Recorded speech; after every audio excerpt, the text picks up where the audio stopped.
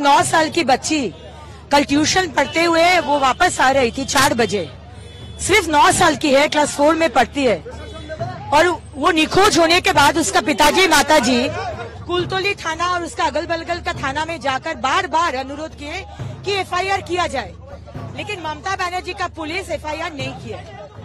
आज अगर एफआईआर होता तो आज वो बच्ची को हम लोग बचा लेते। आज सुबह बच्ची का डेड बॉडी आज मिला, सुबह में। उसका डेड बॉडी मिला और उसका डेड बॉडी में उसका मुँह पूरा खतो बिखतो और जो उसका बॉडी को देखे हैं, सारा शरीर में, ठीक हमारे अभाया का जैसा, सारा शरीर में उसका एकदम माने इंजुरी मार्क्स तो गैंग रेप हो रेप हो रेप ना हो, ऐसे खून हो, मुझे मालूम नहीं है। हम लोग को एक ही दाबी है, आरजी कौर में बॉडी प्रिजर्व नहीं किया गया था, यहाँ पर बॉडी प्रिजर्व करना पड़ेगा।